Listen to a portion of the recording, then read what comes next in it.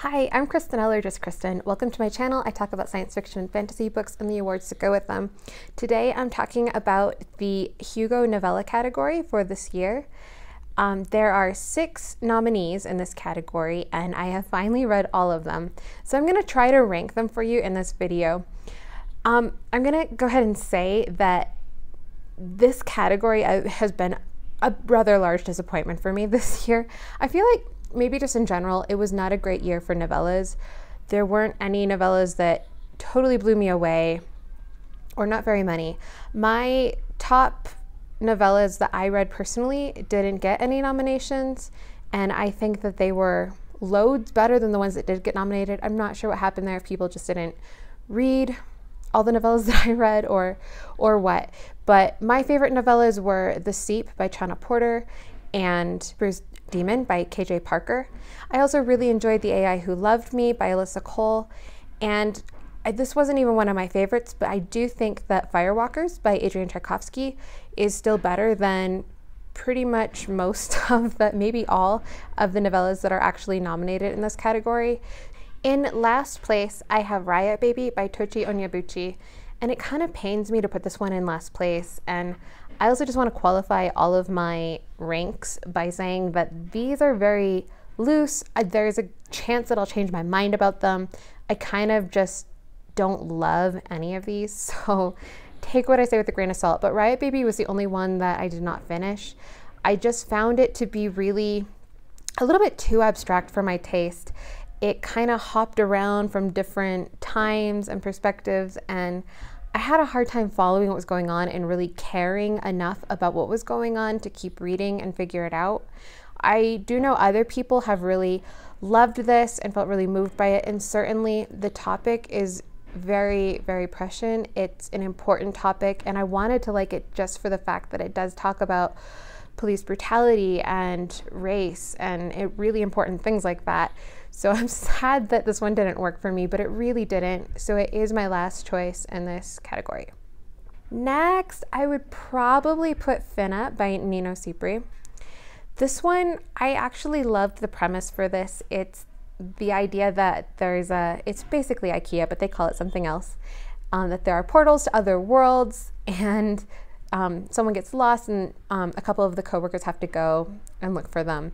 And so the concept is just awesome. I love the concept of portal fantasy and I really was enjoying kind of the tone of the storytelling. Very, it was uh, critiquing capitalism and uh, it was kind of a dry humor sometimes. And I don't know, I loved it. And so I started it out just like super on board.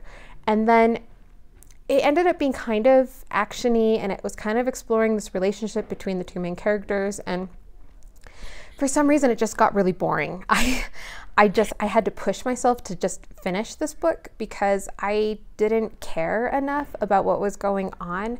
A plus for concept and critique of capitalism. I'm always for that, but it just as a whole didn't work really well for me. Next, I would put Upright Woman Wanted by Sarah Gailey. This one had some really wonderful moments, but on the whole, the tone of it was just so preachy and anvilicious. Anvilicious meaning like it just hits you over the head with, with its message. It's just very strong, like, and it's a message that I am 100% behind, but it's just like, did you know that you know, people should be allowed to love whoever they want. Did you know that? That's important. it's like, oh my gosh. Um, so I just, it's a taste thing. I prefer my stories to be a little more subtle. Um, so it's really, I would rank it higher if it weren't for that, but it's also just not my aesthetic. I am not a, a person that enjoys the Western kind of aesthetic, and this was a Western kind of setting. Um, it's like a, a futuristic like we're so far in the future that now it looks like the Wild West again. so that's that's kind of cool. And I know it really worked great for some other people, but it just wasn't really my style. And then with the preachiness on top of that, it I don't know. With all of that aside, there were some really lovely moments, and I really did enjoy parts of this a lot. And it's not eh, bad at all. Next, I would put, now this is where it starts to get tricky for me, The Empress of Salt and Fortune by Nghi Vo. This one was just absolutely lovely. It was beautiful writing, but it just kind of wasn't to my taste. And it's one of those things where I can recognize that this is a well written, beautiful novella that I just personally didn't really enjoy a lot. It I just wanted to go a little bit deeper. I wanted to understand the world a little bit more. I wanted to dig into the characters and their feelings and their journeys a little bit more. The feel of this novella is very much like someone is, well, literally, someone is telling a story. And, you know, it's like you're sitting there and someone's retelling what the, happened in the past, which was very cool. And it's just not my taste, I think. So I do think that that, you know, is worth worthy of being on this list, just not my personal favorite. Next, I'm gonna put I really don't know how to rank these top three guys. I guess I'll put Ring Shout by P. Djeli Clark. This one, I can recognize once again that this is good writing, but it didn't work really well for me. And once again, it's just not very subtle. Um, there are, this is set in the South. It's sort of like an alternate history kind of thing where Klansmen are literal demons. And I just don't like that trope. It just doesn't work really well for me. I would rather not explain away hatred and bigotry by saying, oh, they're monsters or demons or whatever. I would rather like really grapple with the fact that this monstrosity is within human hearts. Um, and I guess I just I prefer more subtlety. Um, but I know this worked really great for loads of other people, and it has just won, I believe, the Locus Award and the Nebula Award. So I would I'm expecting this one to win the Hugos, honestly, and I think that it does deserve it. It is well written, it does great things, it talks about good things. It's it's really great. Just not my favorite. And then I guess in first place, and I'm saying like I guess it's but I still didn't love it all that much, is Come Tumbling Down by Seanan McGuire. And I think just out of all of these, I think that's the one that I did end up enjoying the most, I guess. I don't know. I mean, it, it's got some cool things going for it. I really liked the world that it was set in.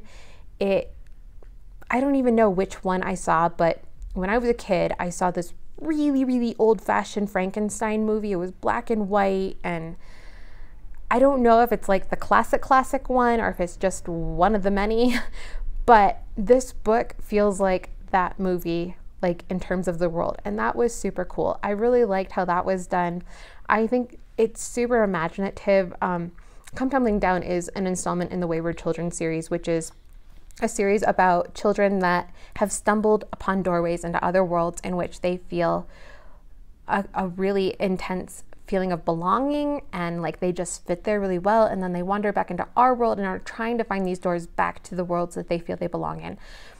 And so Come Tumbling Down takes place in one of those worlds, and the world is they call it the Moors, and it's just it looks like an old black and white Frankenstein movie, and it's super cool. I mean, on the whole, I, I'm not in love with the series. I'm not I don't super enjoy it, but I think what this did was cool. And I did listen to the audiobook for this one, and I didn't find out until the very, very end that the reader for the audiobook is the author, Seanan McGuire. So that was cool. So that is my ranking. That's probably what I'm going to put on my ballot for the Hugos. Uh, at the same time, it's very fluid at this point. I might change these rankings. They could change significantly. I don't know because the problem is that I just don't love any of these and I don't hate any of them either. They're just all very middle of the road eh, kind of books that ultimately I was kind of bored by most of these. So I don't know, but please comment below. I want to know what your ranking would be, which of these really worked for you or did not work for you. Tell me which novellas you feel were overlooked when the nominations were put in this year. And that's it. Definitely make sure that you're subscribed if you want to hear my other rankings for the other categories of the Hugos this year. Thanks so much for watching. Bye.